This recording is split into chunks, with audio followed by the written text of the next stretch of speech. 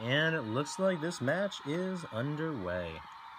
Oh, Gianluca Martini taking it right to Iron Duke Bishop. He doesn't care about the size advantage. I mean, Iron Duke Bishop's a huge guy. I mean, with the world class Gianluca Martini, he stands at six foot two, which is nothing compared to Iron Duke Bishop. Not to mention the uh, size advantage as far as the weight goes, but uh, Gianluca Martini taking no no precautions here. He went right after Iron Duke Bishop. He brought him into the corner, delivering some body shots and headshots with his uh, fists. Iron Duke Bishop was able to counter it and throw him into the corner, but Martini was able to slide out of the ring. Iron Duke Bishop followed suit. And the two brawled for a little bit on the outside, but uh, Gianluca Martini was able to throw Iron Duke Bishop into the barricade, trying to use whatever he can to his advantage, because uh, Iron Duke Bishop definitely has his size and height to his advantage. Now, Gianluca Martini's back on the inside of the ring, and he's running the ropes. He, oh! He was trying to do a diving move to the outside onto Iron Duke Bishop, but Duke was uh, he was too too quick. He went under the ring, got a chair, and smashed Gianluca Martini right in the right in the temple, I believe, with that chair as uh, Gianluca Martini was trying to dive out of the ring onto Iron Duke Bishop. Um, let's go. Uh, let's see. Now the two looks like Iron Duke is down. I'm sorry, Gianluca Martini. I'm sorry, he's down. Iron Duke's throwing him into the ring. Let's go. Uh, let's go back to Twitter and see what other fans had to uh, had to say or ask some of our stars. All right, let's see. We have uh, we have who is this?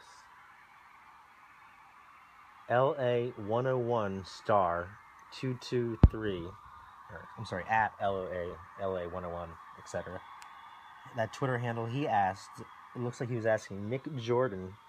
He goes, uh, Killian Red was a part of NGCW and is a part of IWE, whereas you are, uh, you're just a newcomer to the scene.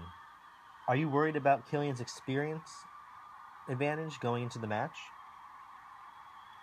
So that's, that's of course referencing to the fact that uh, you know Killian Red has been in this he, he he's been in this business a little bit longer than Nick Jordan has. So uh, this LA LA 101 fan is asking Killian if or asking Nick if he's worried about Killian's you know experience advantage, and uh, Nick goes in response. He said, "Killian may have experience here, but you all have to remember that I am a two-time."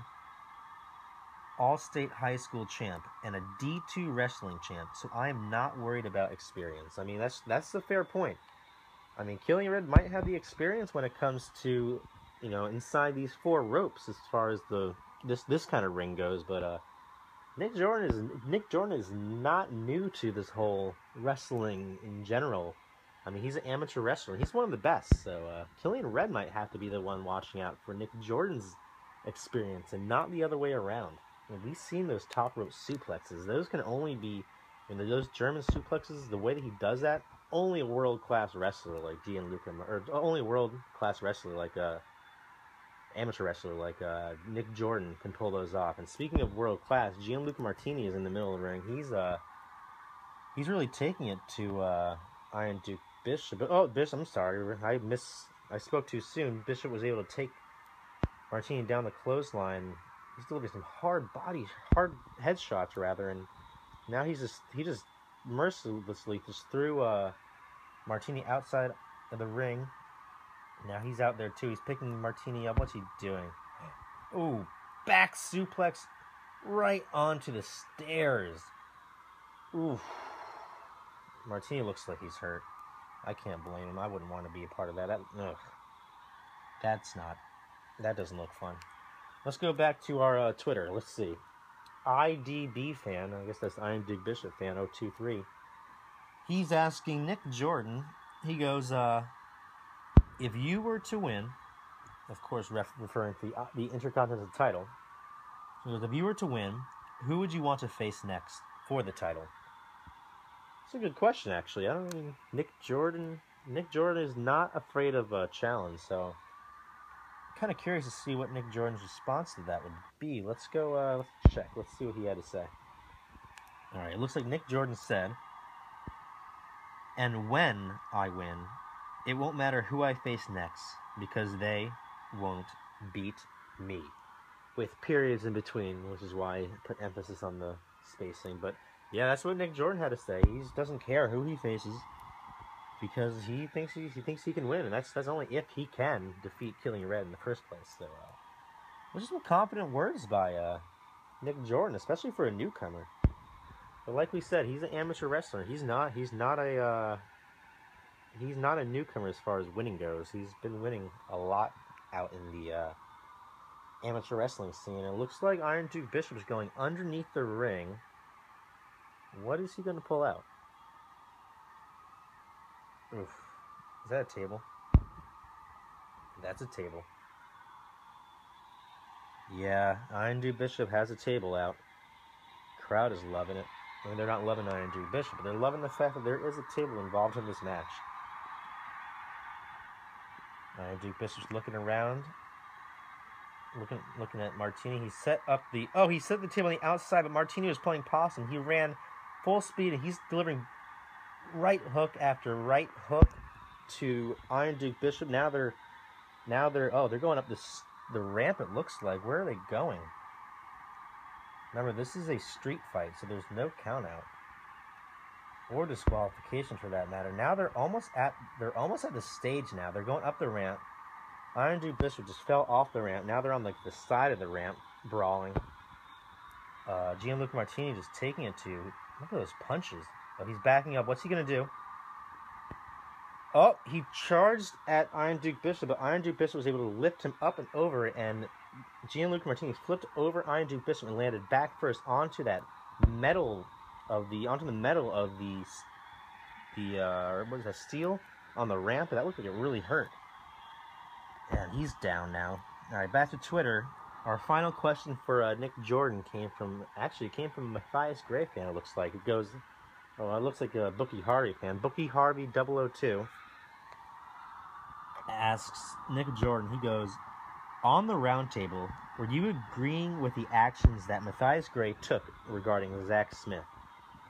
And of course, he's uh, the fan is referencing to the roundtable this week where uh, Nick Jordan, well, Cameron Cray and Zach Smith and Gianluca Martini, they're all talking. Cameron Cray was asking about what Matthias Gray did to Zach Smith, and he was talking. him. Cameron Cray, like us, like uh, like like we all know, he's not afraid to uh, speak his mind. Kind of like Jason Spade, he's the same way. He's not afraid to say how it is, and neither is Zach Smith. And those two definitely, uh, they made their their uh, opinion about this matter very clear on the roundtable. However, Nick Jordan, he said something to the to the extent of uh, Matthias Gray. He said he said that Matthias Gray was just doing his job. So uh, he said it very passively. So I don't know if he was taking Matthias Gray aside or just not trying to get involved, or if I don't know what he was doing. But uh, let's see what he has to answer about that.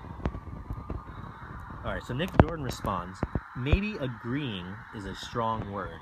Matthias has done everything in his power to keep WWC running smoothly, so why would you mess all that up by taking out his top talent? He's just doing what is best for business. Huh.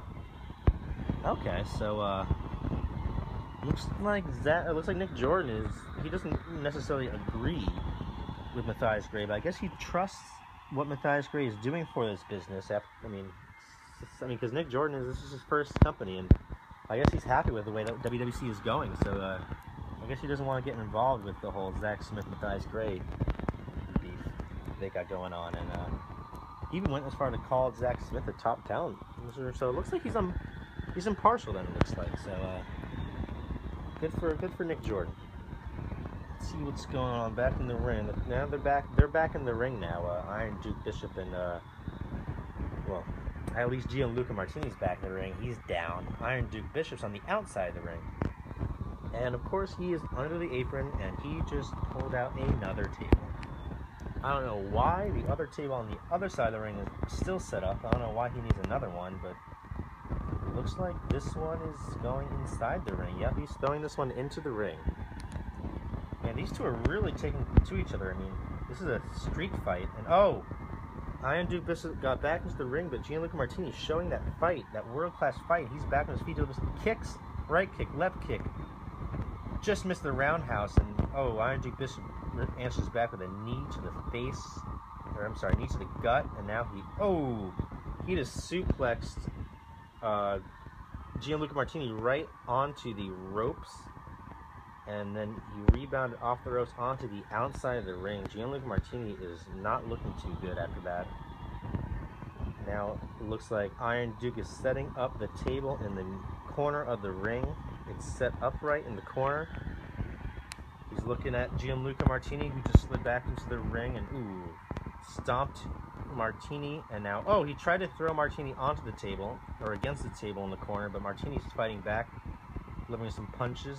There's still that chair in the middle of the ring too. I wonder if that's going to be playing a part. Iron Duke just ooh, Iron Duke Bishop. He he just Irish whipped uh he's Irish Irish whipped Martini into the corner, but Martini used the corner to jump. He uses he used the uh, turnbuckle to almost like stairs, and he jumped over Iron Duke Bishop with a backflip, and he ran the ropes, and he hit a huge clothesline at Iron Duke Bishop. Now Iron Duke Bishop's trying to get up. He's in the corner, but Gianluca Martini hit a huge uh, corner drop kick on Iron Duke Bishop, and but Iron Duke Bishop is not down. He's still groggy in the corner, but uh, oh, now he's down. Gianluca Martini just hit a whole bunch of kicks to the oh. Martini went to the other corner to charge at the downed Iron Duke, but Iron Duke took that chair and threw it right in the face, right in the face of Gianluca Martini. And Martini is down again. This is some match, ladies and gentlemen. The street fight, our pre-show. I mean, I know our opening match is a casket match, which is also no disqualification, but uh, I believe it or not, it looks like JT Allen and Cameron Cray are going to have to really do try their best to uh, top this match we have going on right now in our pre-show. I mean, this, this crowd is loving it. Tables, chairs are getting involved. They're all over the ring, all over the outside. I mean, it's going to really take something for JT Allen and Cameron Cray to top this match. Maybe, uh, maybe, maybe this was a. I mean, Gianluca Martinez said on the roundtable he shouldn't have been on the pre-show. He, he thought he should should be on the real thing, and maybe he was right. Mean, this is some match we really got going on over here. But uh, we'll be right back, folks.